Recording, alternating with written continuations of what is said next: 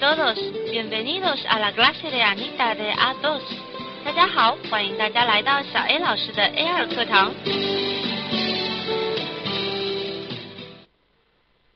在这个世界上呢，其实人人啊都想要获得成功。如果我说有什么捷径之路，相信也一定是让大家都趋之若鹜的吧。那今天小艾老师我呢就要来给大家支个招，我要来告诉大家一下，我们应该如何获得成功呢？一般人我可不告诉他，可要竖起耳朵听好喽。那就是 el primer paso para conseguir las cosas que quieres de la vida es decidir lo que quieres。这句话好长哟，小艾老师。没错了，因为这句话的意思就是说，想要获得成功，你所要迈出的第一步，便是决定好你究竟想要什么。在听课的大家，是不是早已经想好了、决定好了自己想要的究竟是什么了呢？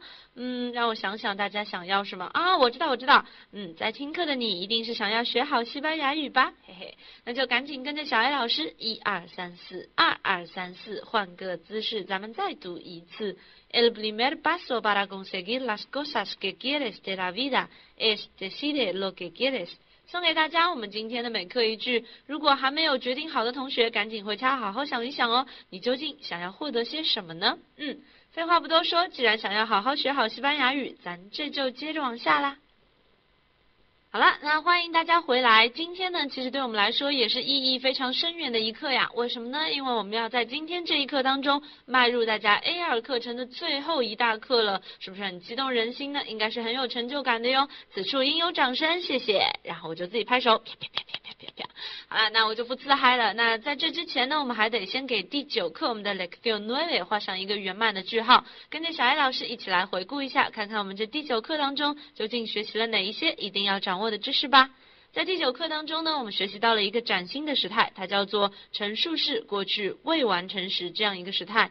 它是承接着我们之前已经学过的陈述式简单过去时之后，相应出现的第二个表示过去动作的时态。那我们也在第九课当中反复的将这两种时态互相的融合、互相的配合来完成一些句子，来了解一下这两种时态虽然都可以表达过去的动作，但究竟有什么样的异同处？相信大家应该都还记忆犹新。那既然我们要给第九课画上一个圆满的句号，那小艾老师就要从头带着大家一起复习。也许有些内容你已经觉得很熟悉了，那。请你忍住啊，要坚持，请听我再啰嗦一遍。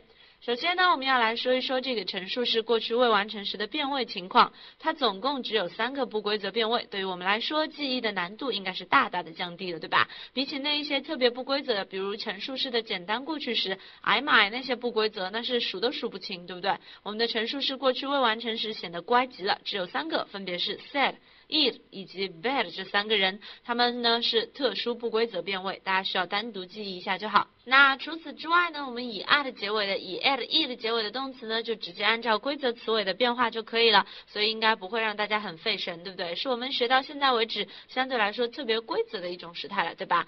好，那么有关于它的变位形态呢，小艾老师就不赘述了。在我们掌握了变位形式之后啊，我们就需要隆重的来了解一下有关于它相应的用法了。我们说陈述式过去未完成时呢，通常都是用来表示对过去的描写，这是它最重要的一个作用，也是它首次登场的时候就让我们看到的情况，对不对？用来表示对过去的描写，其实呢，这个描写可以很广，它可以表示对过去环境的描写啦，对当时人物的描写啦，对物品的描写啦，等等，包括整个事情发生的背景的描写，凡是只要你能够提上描写这两个词的，我们基本上都是用到过去未完成时的，这是它主要的第一个用法，而它第二个用法是表示什么呢？就是表示发生在过去，但是呢，不止发生了一次，而是过去一段时间当中反复发生的，且多次发生的。但是重点在于，小艾老师有特别提过哦，在这里的多次发生也好，反复发生也好，习惯性发生也好，就是不能明确的告诉你发生了几次。因为如果我们已经明确的知道发生了几次呢，就证明这件事情已经彻底结束了。这时候其实就需要使用简单过去时，而不能使用过未完了。大家能够了解哦。所以呢，在这种情况下呢，通常我们是发生在过去的动作，并且搭配上一个表示频率的时间短语。那么这种情况下呢，我们就会使用陈述式过去未完成时去表达。大家可以了解一下。那在这里呢，我们一起来回顾一下表示频率的短语有很多哦，什么 siempre 啦，normalmente 啦等等，a menudo a veces 这些全部都是。那除此之外呢，我们还会用到一个 todos todas，然后加上定冠词，再加上名词的复数形式来构成每一个什么什么东西，这也是一种较高的频率。比如说每一个周日，每个周日，那就叫 todos los domingos，sí，todos los domingos。同样的道理，如果我们要说每一个礼拜、每周，那我们就叫 todas las semanas。Todas las semanas，大家都了解了吗？那这一些情况呢？这些表示频率的词汇，如果搭配一个发生在过去的动作，那么这个动词就一定要使用过去未完成时了。我在这里就不啰嗦了，相信大家心中也有一笔账的，对吧？好，那说完了过去未完成时呢，我们再来说一说它和简单过去时的配合使用。通常呢，在一句句子当中呢，有的时候我们会出现两个动作，就是我要讲一件过去的事情，肯定不是一个时态就能够搞定的。比如说，我要说在一个月黑风高的夜晚，我摔了一跤。啊啊，这个哎，稍微稍微有一点狗血的剧情啊，不过大家可以听一听。比如我现在说我在一个月黑风高的夜晚，我摔了一跤。那对于这个月黑风高，是不是就是对过去情况的描写呀？所以对于这个月黑风高这一个概念，我们肯定是需要使用过去未完成时的。而我很不幸的，噗，摔了一跤，这就是一个所谓点的动作，我们就会直接搭配简单过去时。其实呢，我们用一个更简单的概念来概括，就是一个点。和一条线的概念，那在这里呢，我们也可以回顾一下所谓的一个点和一条线。大家想一下，我们以前是不是最早见到这个过去未完成时有一个句式叫做“当我小时候”和“当我多少多少岁的时候”，然后发生了什么什么事情？大家想一下，“当我多少多少岁”和“当我小时候”是不是都是一整条线？在这条线当中发生的某一些事情，see？那这个时候呢，“当我多少岁”叫做 “cuando tenía 多少 años”，以及“当我小时候”叫做 “cuando era pequeño pequeña”，大家都不要忘了。除此之外，我们还要啰嗦的就是，当我小时候和当我有多少岁的时候啊，这两个句式，除去有使用动词的短语情况之外呢，我们也可以直接用前置词短语来连接。比如说，当我小时候，我们可以直接叫 de b e g i n o s e d e b e g i n o。而当我有多少多少岁的时候，我们叫 a los 多少多少 años。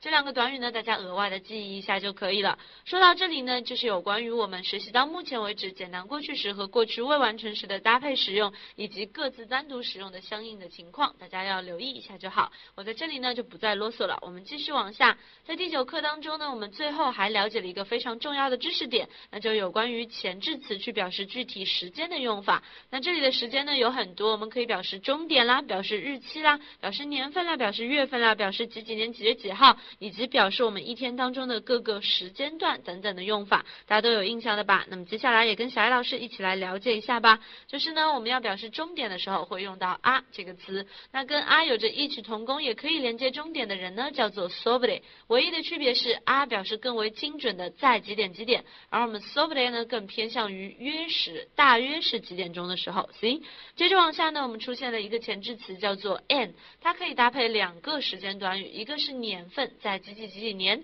一个是月份，在几月几月。重点是表示月份的词不大写。同时呢，如果我们已经出现了一个非常精准的几几年的几月几号这样子一个精准的日期，那我们就不能再加上 an 了。比如说，我说我在二零零零年的一月二号做了什么事情，大家不能说 an 二零零零年的一月二号。所以这一点大家要留意了。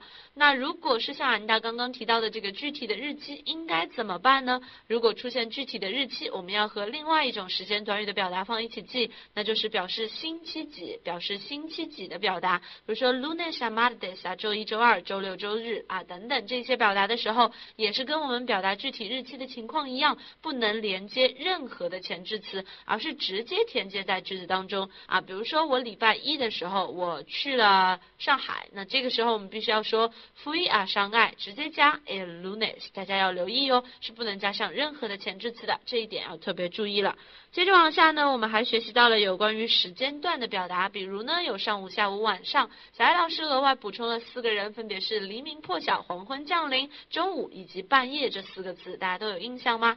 那除去这俺大说的这四个词之外呀，常规的上午、下午、晚上呢，就直接使用前置词 bor 来连接就好，加上阴性定冠词啦，分别是 bor la mañana、bor la tarde 以及 bor la noche。而俺大额外补充的那四个人呢，都很巧妙的全部都使用前置词 a 来连接，当然也需要加上相应的定冠词。而这时候的定冠词呢，取决于大家加的名词，比如黎明破晓和黄昏降临这两个呢，都是阳性名词，所以我们都会说 al 阿尔这样的情况，所以大家可以了解一下，分别叫阿尔阿玛内塞尔、阿尔阿玛内塞尔，一个叫阿尔阿达尔德塞尔、阿尔阿达尔德塞尔。另外两个人呢，分别有两个带半的，对不对？一个叫半天，也就是我们所谓的中午；另外一个呢叫半夜，也就是晚上，对不对？晚上的一半，半夜，分别是 al mediodía 以及 a la medianoche。嗯，很好。那除此之外呢，我们还有两组人啊。所谓两组呢，虽然表达的意思都差不多，都是从什么到什么，但是这两组人呢是有所不同了。desde hasta 以及 de 和 a。那我们说，截止到目前为止呢，我们要做的事情就记住两个长的搭配在一起，两个短的搭配在一起，也就是 desde 搭配 hasta，而 de 搭配 a。就我们目前来说呢，所有的区别呢有两个，一个区别呢就是当我们要表示终点，从几点钟到几点钟的时候呢，desde hasta 可以加上阴性定冠词 last，。比如说 desde las tres hasta last，ocho 但如果我们用 de 和 a 呢，这个定冠词就拿走了，直接变成 de tres a ocho，比较简单的短语表达。see。那除了这个终点的表示上有差别之外呢，desde hasta 和 de a 呢，目前来说还有一个差别，就是当我们表示过去，从多久以前起，我们知道多久前叫做 hace 加一段时间，比如说两年前叫做 hace dos años，see hace dos años。那如果我要说从两年前起，那叫 desde hace dos años，而不可以说成 de hace dos años，这是一个固定的短语表达，大家留意一下就好。嗯，说到这里呢，就是我们截止到目前为止大家需要注意的。Desde hasta 和 de a 之间的区别，其他的内容呢我们就不用深究了。一般来说，截止到目前为止，我们的使用是不会产生特例的。行。好啦，那说了那么多，我们第九课的内容是不是即将都接近尾声了呢？啊，别着急，别着急，还剩下最后两个小艾老师要强调的内容，大家了解一下就好了。这里呢，最后一个点是有关于一些常见的动词短语的使用。在我们第九课当中呢，我们学习到了一个副动词新鲜的用法。什么叫副动词新鲜的用法呢？就是截止到以前啊，我们学副动词主要的用法就是由 estar 加上它，用来表示正在做某事，对不对？但是在我们的 lección nueve 当中呢，我们学习到了两种新鲜的用法。第一种呢是由动词 segit 或者 continuar 连接副动词 segit 和 continuar 两个人是表示一样的意思哦，所以大家可以一起使用，一起记。segit 和 continuar 连接副动词解释为继续做某事，继续做某事。而除了他们之外呢，还有一个人叫做 llevar。也罢，它在使用的时候呢，需要加上一段时间再加副动词，解释为我做这件事情已经有多长时间了。当然，大家也可以把也罢的变成相应的人称，那就是谁做这件事情已经有多久了，明白？好，那除去这个短语之外呢，我们还需要注意的就是有一个 sing 加上动词原形的用法，解释为没有做某事，大家别忘了。然后呢，还有一个叫 dejar de 加动词原形，解释为停止做某事或者放弃做某事。另外有一个很重要的短语叫 volverse，加上你的一些形容词啊，就是表示一些转变变化。volverse 呢就直接解释为变化啊，成为什么什么样的东西，大家可以留意一下，因为跟我们以前所学的它的 volver 是没有什么关系的。所以呢，较为特殊，大家注意一下就好了。那好了，说到这里呢，其实我们的 Lección Nueve 啊，大多数的内容已经跟大家告别了啊，我们已经画上了一个圆满的句号了。怎么样，大家听我在总结的时候，有没有觉得心中有数的感觉呢？嗯，还是有一点点小茫然呢？怎么样都好，赶紧去小练习当中给自己来总结一下吧，看看有哪一些还掌握的不够清楚，需要后期好好复习的呢？都准备好了，我们就要进入崭新的 Lección Diez 了，是大家 A 二阶段的最后一课了。小艾老师说起来都很激动人心呢，你们呢？赶紧抓紧完。完成啦！我在这里等着大家哟。让我们一起来做个小练习吧。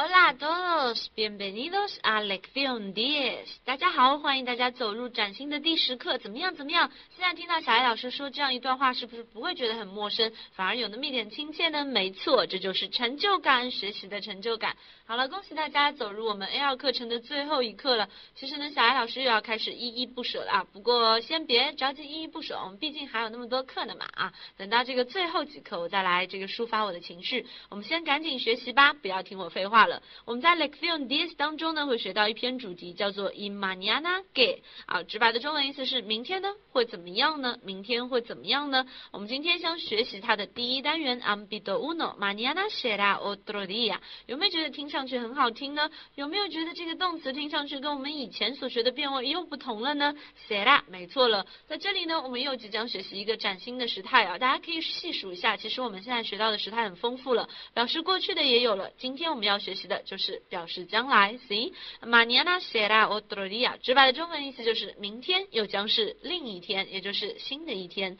崭新的一天。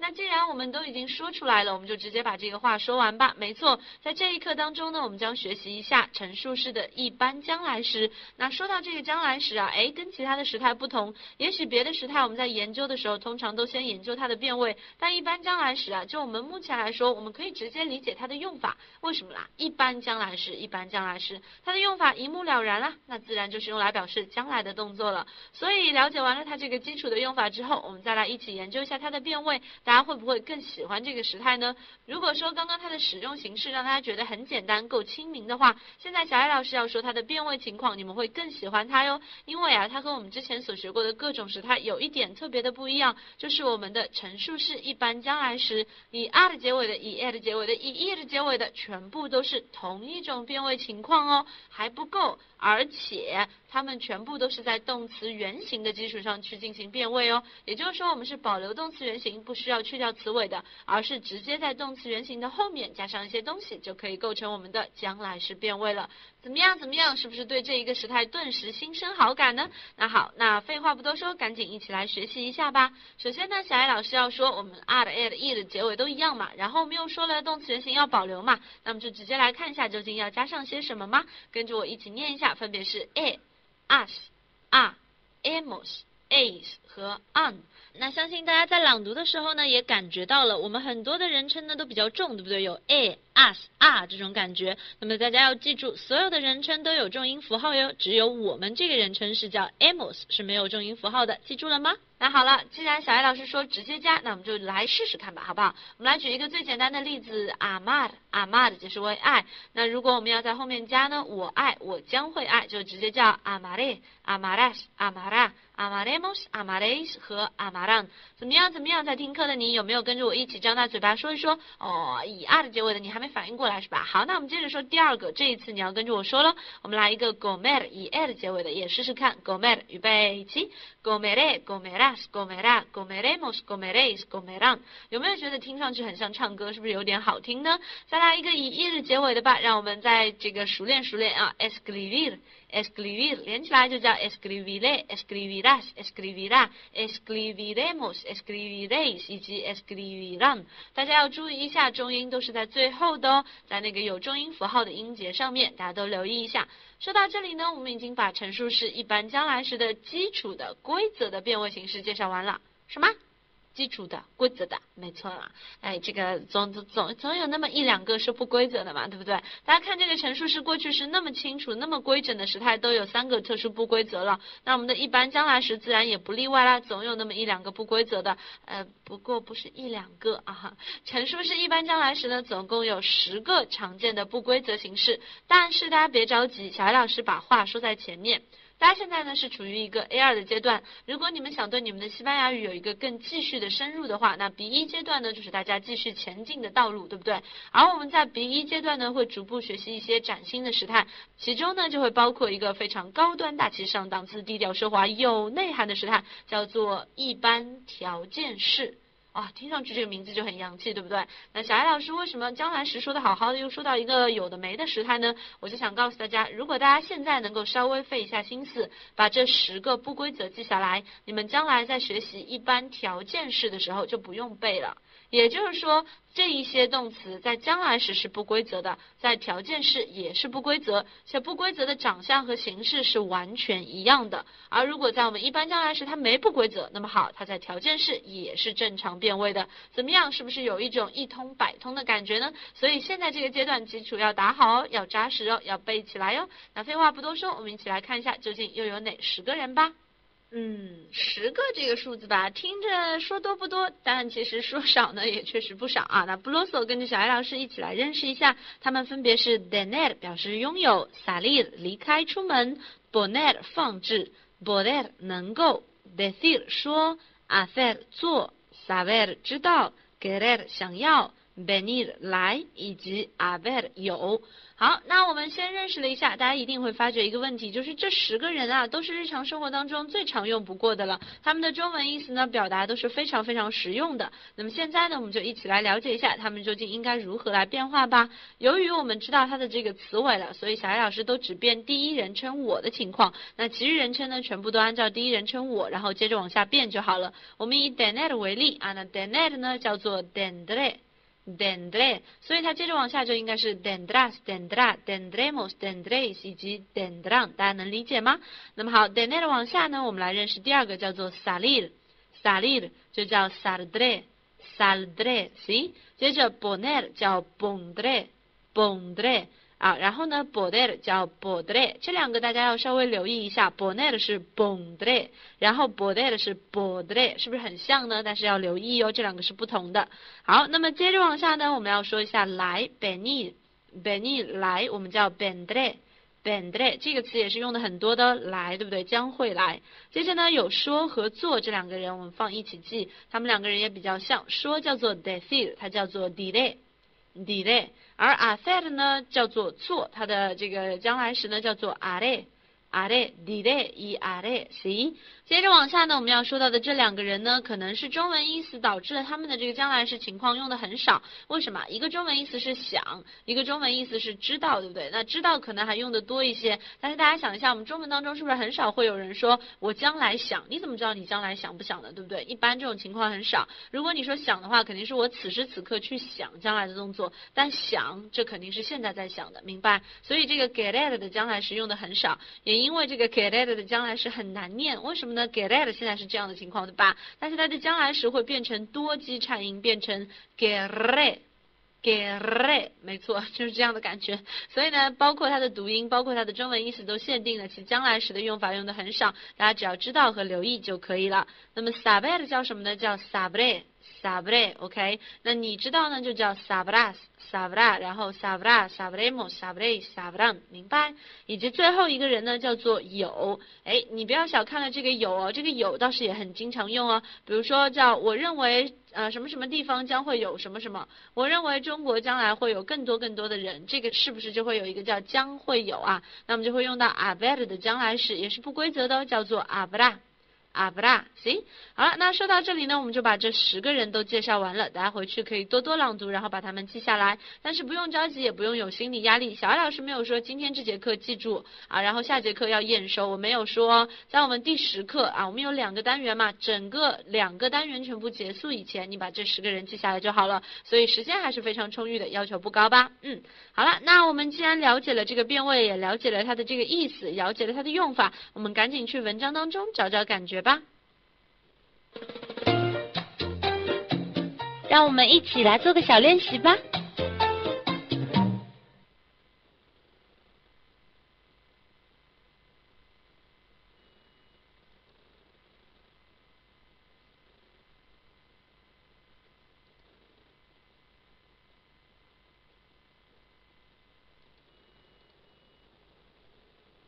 嗯，嗯那首先呢，小艾老师有一句话要说在前头啊，就是我们接下来要读的这一篇文章呢，相对来说比较的学术，专业性也比较高。因为呢，其实我们 A 一 A 二阶段啊，更多的是停留在一些日常的绘画，也就是记述文啊，这种有故事情节的这种叙述文比较多一点。但是像这一类的，就比较官方的，或者说以一个第三方的角度去。评判事物的文章呢，相对来说要求就会比较高，所以大家如果不是非常理解的话，也不用特别在意啊，会不会说，哎呦，这个我都掌握的不好，怎么都看不懂？等等等等的问题。大家记住，这不是你们的问题啊，书上总会给大家一些超过大家能力范围的，想要让大家能够跳起来摘果子这样子的学习情况。所以大家跟着小艾老师一点一点抽丝剥茧去理解就好了。我们先一起来念一下吧。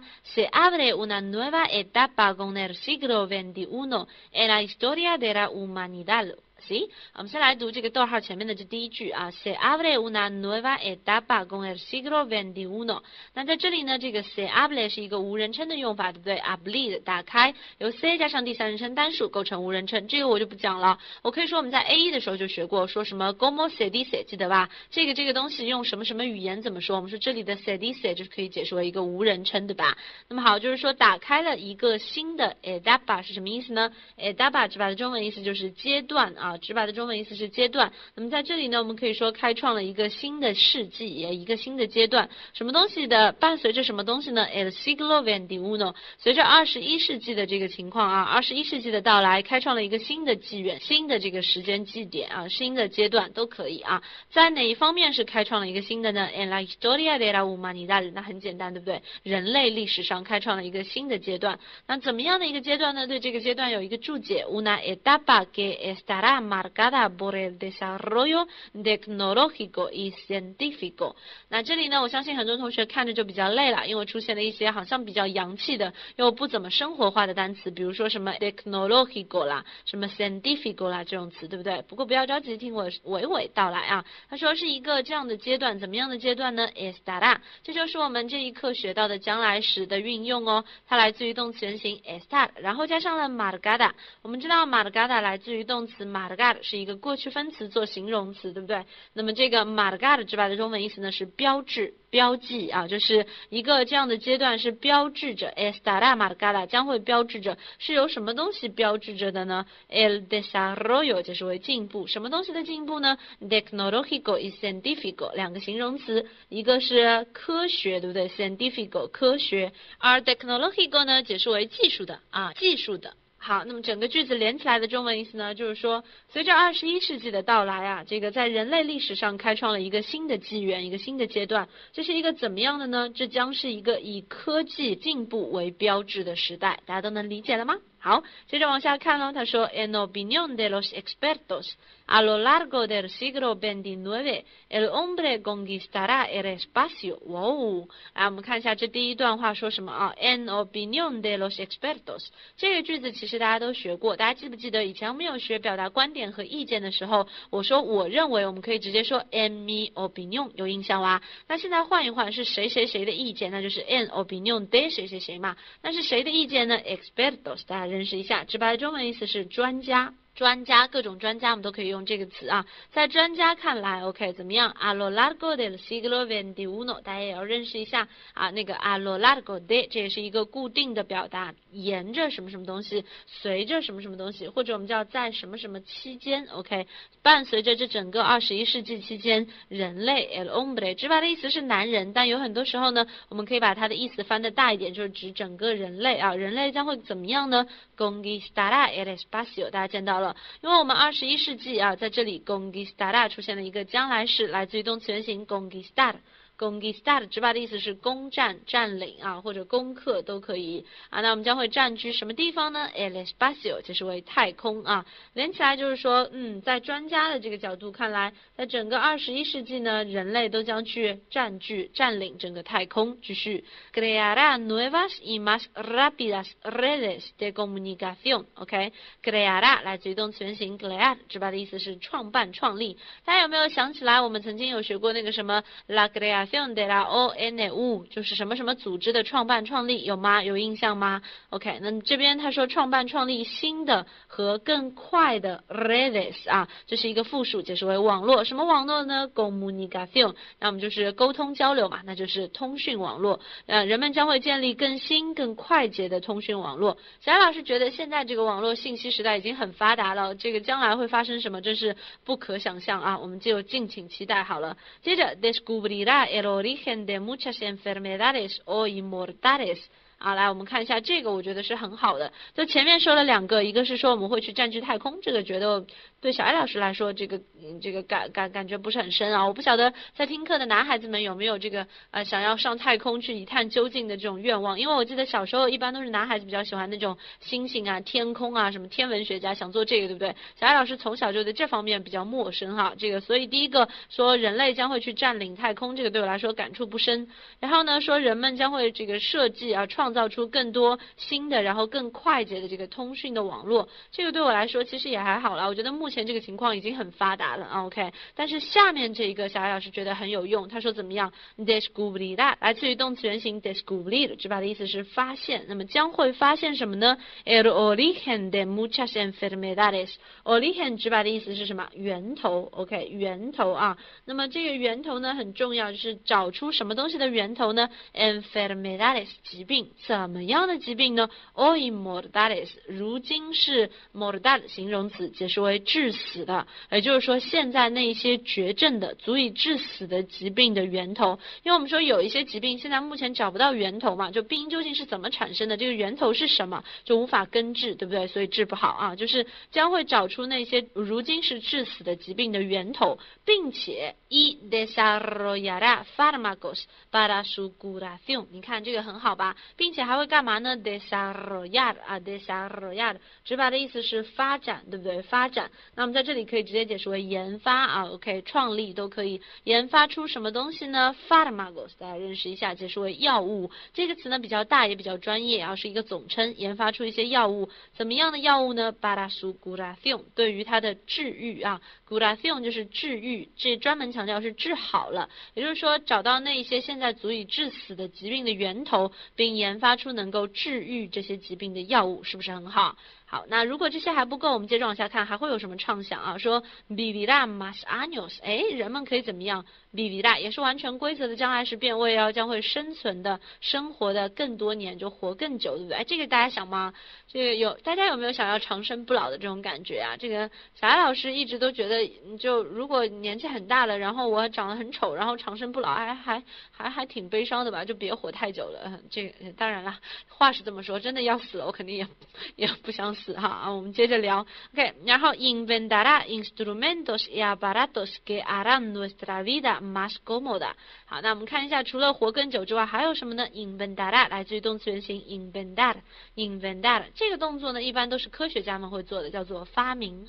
OK，将会发明什么呢？Instrumentos，大家可以认识一下，Instrumentos 和 aparatos 两个人呢可以基本上放一起记啊，解释为设施和器具都差不多。设施和器具，怎么样的设施和器具呢？给 harán nuestra vida más cómoda，将会使得这里的 harán 呢来自于动词原形 hacer，直白的中文意思虽然是做，但是呢我们说啊这个 hacer 还有一个用法就是加 a 加人，然后加一个情况啊加动词原形，解释为让某人做某事，就使得。他做某事，那么这边呢，我们没有加动词原形，而是加一个形容词，也是一样的，使什么东西变得怎么样？他在这里是说啊，这个发明出一些器具和设施，能够是使我们的生活变得更加的 cómoda，解释为舒适的，OK，舒适的，大家可以了解一下。继续，disfrutará más de su tiempo libre，就是能够让我们的这个生活变得更加舒适嘛，然后我们就人们怎么就可以怎么样？disfrutará 来自于动词原形 disfrutar 加 de 加名词，解释为享。受受什么啊？那这里是 disfrutar más，更多的去享受您的休闲时光。OK，tiempo libre 解释为闲暇时光、休闲时光，都能理解吗？到这里为止啊，我们有了一连串的畅想。OK，好，那么我们在这里为止呢，我们从头把这个整个这一段话的畅想，因为都是将来时啊，来理解一下啊。这个文章当中说到了，随着二十一世纪的到来呢，人类历史将开创一个新的纪元，这将是一个以科技进步为标志的一个时代。那在专家们看来呢，在二十一世纪当中啊，人类将去占据太空，然后呢会创造更多更新，然后更快的通讯网络，然后呢将会发现很多什么东西啊？现在是致命的疾病的 origin 是吗？致命的疾病的病因或者叫源头，并且呢会研发出能够治好这些疾病的药物，人类呢就可以将活得更久。发明让我们的生活能够现在感觉更加舒适的设施和器具，能够让我们更多的、更好的去享受我们自己的空闲时光。明白？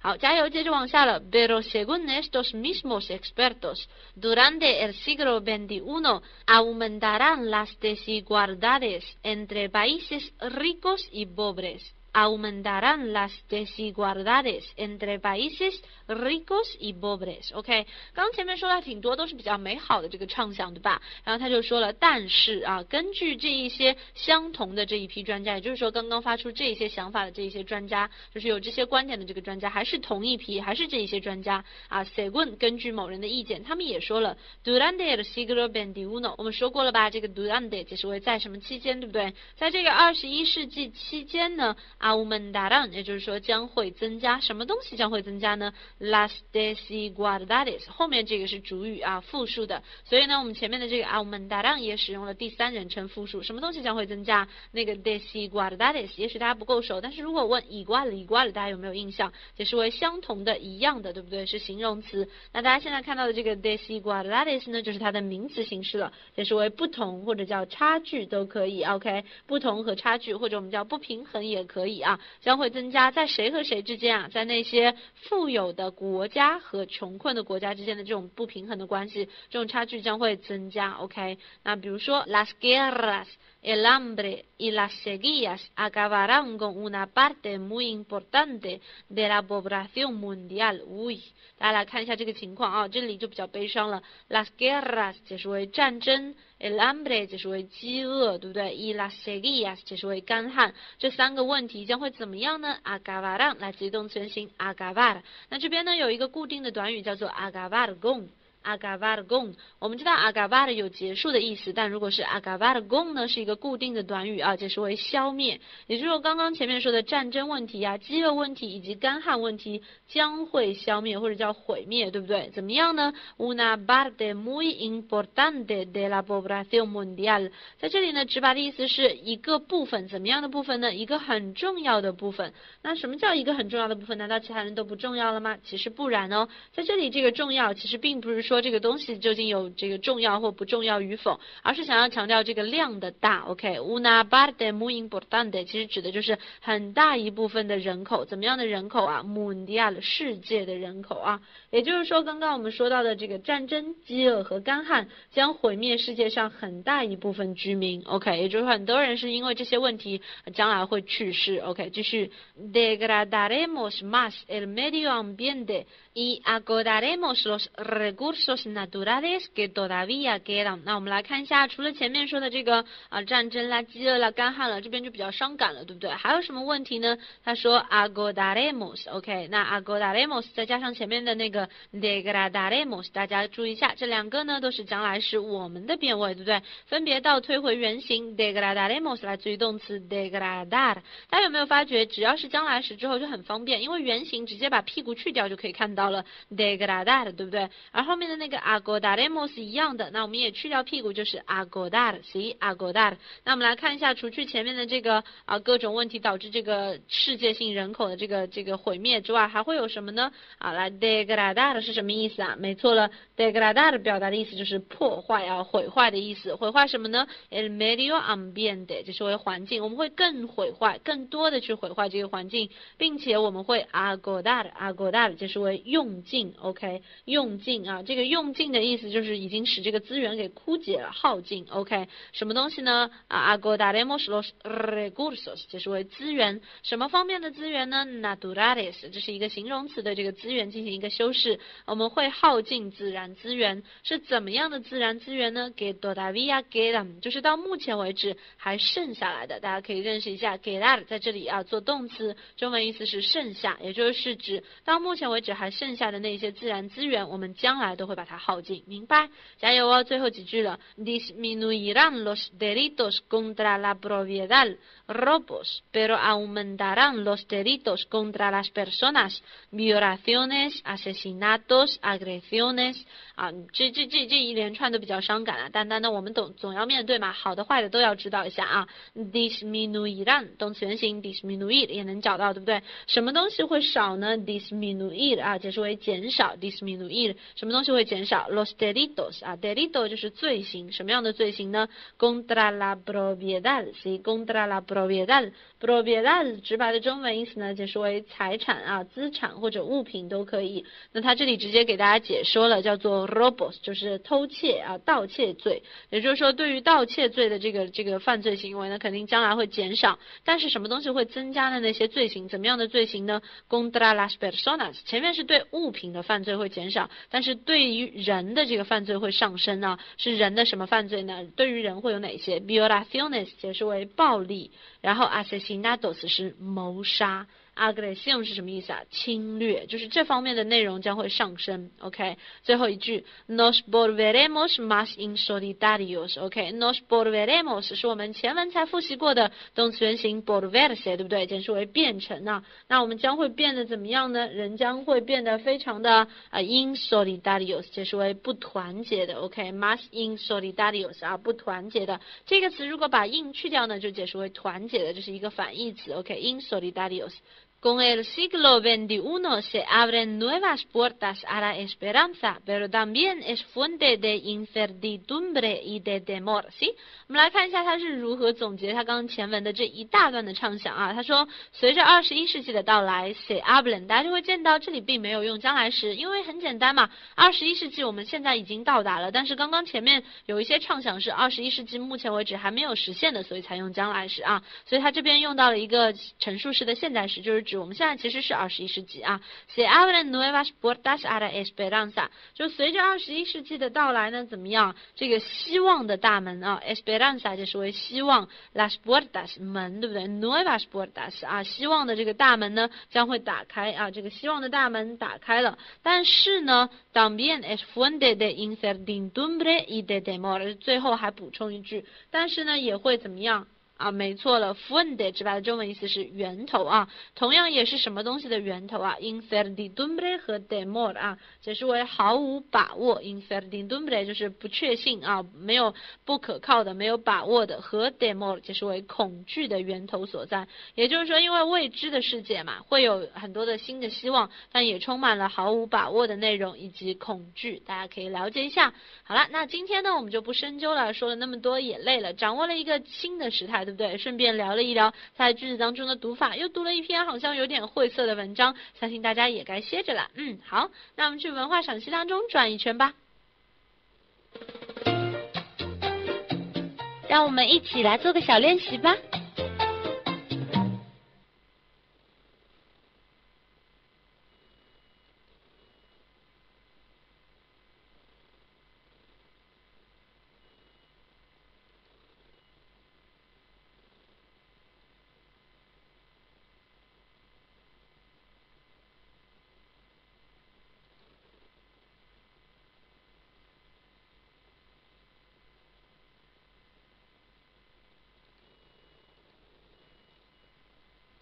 我要唱歌啦！这首歌呢，记得是这么唱的，叫做在那山的那边，海的那边，有一群，请猜歌名。啊，什么什么？这个太简单了啊！那行，那那咱再这个换一个哈。这个他们活泼又聪明，他们调皮又灵敏啊啊，好吧，那这个我原来唱来唱去是一首歌啊。嗯，那这是什么动画片呢？没错，就是活泼可爱的蓝精灵了。也许呢，你喜欢看那些可爱的小蓝精灵经历这一次一次的冒险，但你是否有曾经想过，他们的蓝精灵村可是真真正正存在于我们的现实生活中呢？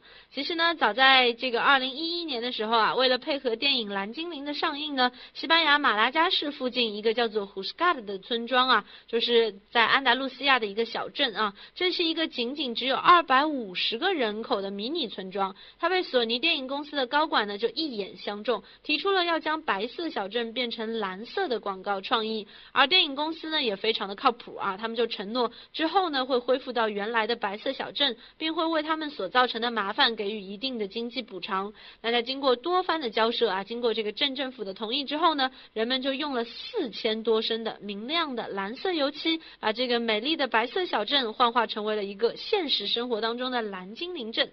在这个蓝精灵村里面呢，大家可以组织各式各样的主题活动，人们呢可以参加蓝精灵绘画比赛，更有蓝精灵的主题集市啊，和以蓝精灵为主题的婚礼。哦，这应该是怎么样的一个情况呢？住惯了白色村子的村民们，对于这充满活力的蓝色也绝对是宠爱有加呢。这一抹蓝色有没有让你的心也明亮起来呢？到目前为止，人们还保留着，因为当地的村民们说他们已经爱上了这一抹蓝呢。原本白色的城镇当然也是相当的美丽，有机会的话，大家一定要去西班牙的马拉加走一遭哟，因为这一座白色的海滨小镇一定会让你着迷呢。小艾老师常说，西班牙的马拉加是一座能让阳光照进你心底的地方，绝对给你温暖的力量哦。所以呢就让我们伴随着这样温暖的感受在我温暖的声音当中结束我们今天的课程吧。我们下节课再见啦，adios。He's together evil he don't love you